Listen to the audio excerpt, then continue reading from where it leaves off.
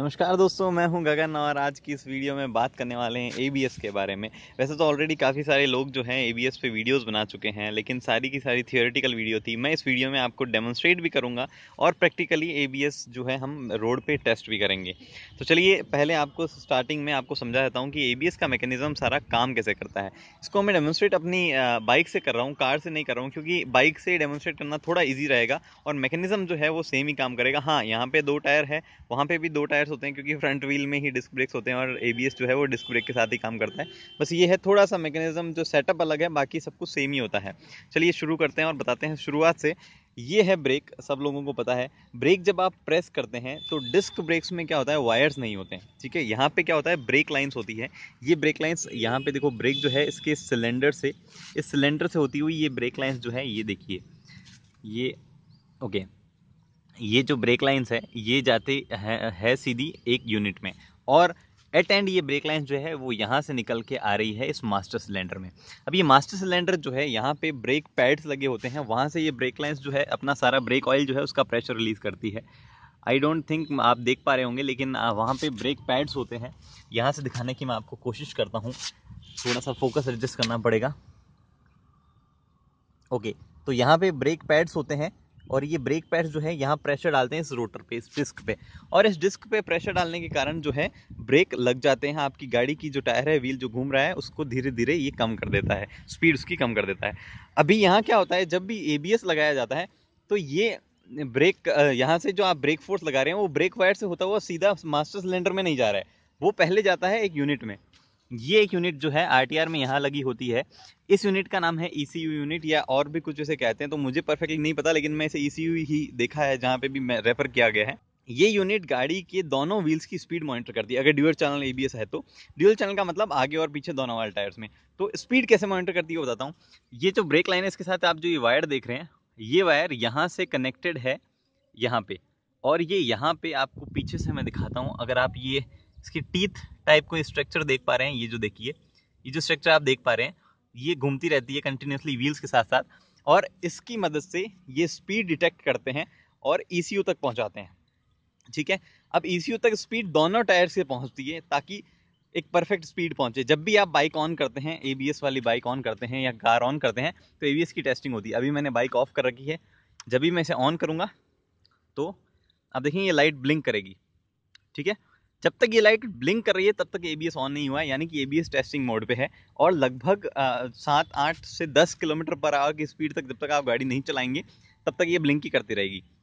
Blink करने का मतलब है गाड़ी का एबीएस अभी टेस्ट हो रहा है, दोनों टायर से स्पीड जो है, वो ली जा रही है। अब एक बार एबीएस ऑन होने के बाद ए बी कंटिन्यूसली दोनों टायर की स्पीड मॉनिटर करता है। अब मान लो आप चल रहे हो, गाड़ी की 50 किलोमीटर पर आवर स्पीड है। 50 किलोमीटर पर आवर की स्पीड पे अगर आप गाड़ी का ब्रेक लगाते हो तो एबीएस जो है यूनिट जो है वो मेजर करती रहती है कि आपकी गाड़ी की स्पीड डिक्रीज कैसे हो रही है। आप कहीं 50 से 45, 45 से 40, 40 से 30 ऐसे आ रहे हो तो ठीक है। लेकिन अगर आप 50 से एकदम से गाड़ी की स्पीड ज़ीरो हो गई टायर की स्पीड तो इसका मतलब एबीएस को पता चल जाएगा कि हाँ अब गाड़ी के ब्रेक व्हील्स जो है वो लॉक हो गए। इतनी जल्दी फिफ्टी से ज़ीरो नहीं आ सकती है।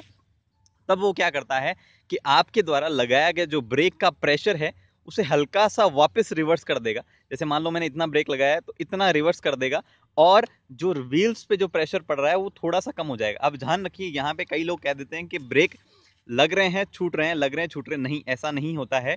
ब्रेक हमेशा लगे हुए रहते हैं। एबीएस कभी भी ब्रेक को पूरी तरह रिलीज़ नहीं करता है। वो थोड़ा सा प्रेशर कम कर देता है, ठीक है? अभी पैड पूरी तरह से चिपक रखे हैं, वो थोड़े से दूर हो जाएँगे। प्रेशर बनाए रखेंगे। जैसे कि फिर से एग्ज़ाम्पल में यही सबसे बेस्ट एग्ज़ाम्पल यही है कि मान लो इतना प्रेशर आपने लगा रखा है तो एबीएस जो है, वो हल्का सा प्रेशर कम करके इतना कर देगा। ठीक है? और यूँ यूँ फ्लक्चुएट होता रहेगा प्रेशर तो इस प्रेशर के, इस फ्लक्चुएशन के कारण जो व्हील है, वो लॉक नहीं होता है और व्हील लॉक नहीं होने के कई फ़ायदे हैं।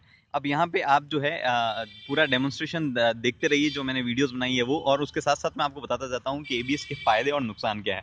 जी हाँ कई लोग नुकसान देख के चौंक जाएँगे कि अच्छा एबीएस के नुकसान भी है। जी हाँ बिल्कुल एबीएस के नुकसान भी है दोनों बाइक्स और कार्स के लिए।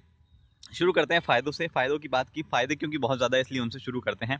फ़ायदा सबसे पहले तो दोस्तों ये है कि आप ब्रेक लगाते टाइम भी गाड़ी को मनूवर कर सकते हैं, यानी कि आपने पूरी तरह ब्रेक लगाए हैं फुल फोर्स से, उसके बाद भी क्योंकि व्हील लॉक नहीं होंगे तो आप गाड़ी को हिला सकते हैं इधर उधर गाड़ी जो है मूव हैंडल मोड़ सकते हैं। कार्स में भी यही सिस्टम है, एक बार ब्रेक लगाने के बाद अगर टायर जाम हो जाए तो आप गाड़ी की डायरेक्शन नहीं चेंज कर पाएँगे, अगर जाम हो गए तो। लेकिन एबीएस जो है जाम होने नहीं देता है ब्रेक व्हील्स को, और आप डायरेक्शन चेंज कर पाते हैं।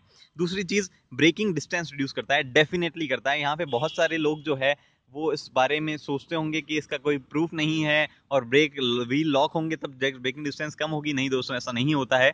एबीएस होने के कारण ब्रेकिंग डिस्टेंस डेफिनेटली रिड्यूस हो जाती है, कम हो जाती है।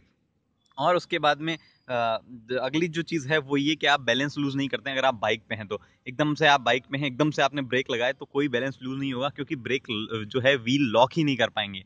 तो आपका गाड़ी रुक जाएगी बैलेंस लूज नहीं होगा और आप आराम से स्टेबली गाड़ी को रोक पाएँगे।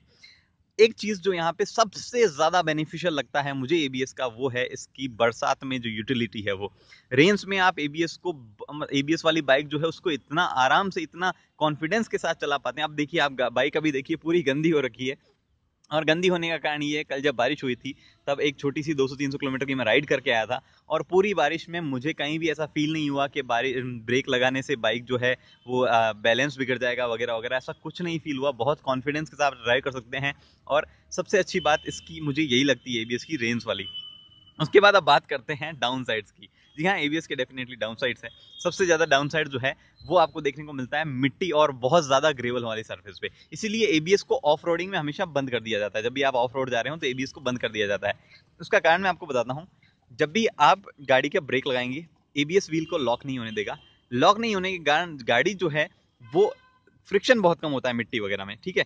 तो व्हील्स बार बार लॉक होने की कोशिश करेंगे तो आपका ब्रेक प्रेशर बहुत कम हो जाएगा। इतना कम कि ब्रेकिंग डिस्टेंस डबल से भी ज़्यादा हो जाएगी, ठीक है?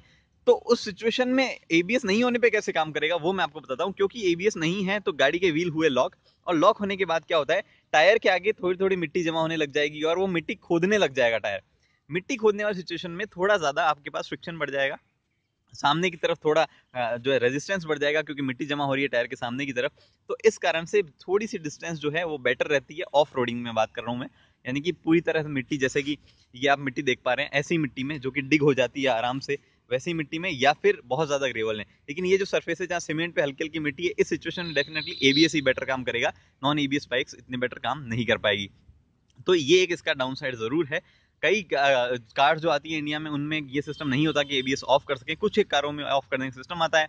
बाइक्स में मोस्टली आता है एबीएस ऑफ़ करने का के में भी है और ये यहाँ पे आर में भी दिया गया है, आप गाड़ी का एबीएस जो है ऑफ़ भी कर सकते हैं। अब बात करते हैं, कई लोग पूछ रहे हैं कि सर, अब मैंने तो बिना एबीएस वाली कार या बाइक खरीद ली, अब मैं एबीएस लगवा सकता हूँ क्या उसमें? दोस्तों इंडिया में ये अभी चीज़ पॉसिबल नहीं है। हाँ जैसे कि आर टी आर की एबीएस असेंबली है, कुछ लोग निकाल के किसी और गाड़ी में जोड़ सकते हैं, लेकिन वो फिर उतनी सेफ़ नहीं होती। बॉश जो है, एक कंपनी है, वो ट्राई कर रही है काफ़ी टाइम से कि हाँ एबीएस जो है वो रेट्रोफिट भी किया जा सके, बाद में आफ्टर मार्केट भी लगा सके। लेकिन मैन्युफैक्चरर्स जो है, वो उसमें ज़्यादा इंटरेस्ट दिखा नहीं रहे हैं और अभी तक तो ये चीज़ पॉसिबल नहीं है। अगर हो भी तो इसकी कॉस्ट जो है वो छः सात हज़ार से लेके लगभग पचास साठ हज़ार तक आएगी। बाइक्स और कार दोनों की बात कर रहा हूँ ऑब्वियसली छः सात हज़ार बाइक्स में ही होगा और कार्स में थोड़ा महँगा होगा। तो बस फ़िलहाल दोस्तों, इस वीडियो में इतना ही। उम्मीद करता हूँ मैंने आपको सब चीज़ बहुत अच्छे से समझा दी है और आपको समझ में आ गया। अगर फिर भी एबीएस के बारे में कोई डाउट रह जाता है तो आप बिल्कुल कमेंट सेक्शन में पूछ सकते हैं, मैं उसे आंसर कर दूँगा। और उम्मीद करता हूँ आपको वीडियो बहुत पसंद आया होगा, क्योंकि मैंने काफ़ी मेहनत से बनाया, बहुत मेहनत से बनाया है। फ़िलहाल दोस्तों, इस वीडियो में इतना ही। अगर आपको वीडियो पसंद आया तो सब्सक्राइब कर लीजिए मेरे चैनल को, क्योंकि मैं डेली ऑटोमोबाइल से रिलेटेड एक ऐसी वीडियो लाता रहता हूँ। अगली वीडियो तक के लिए हेलमेट पहनिए सीट बेल्ट पहनिए, सुरक्षित चलिए। धन्यवाद।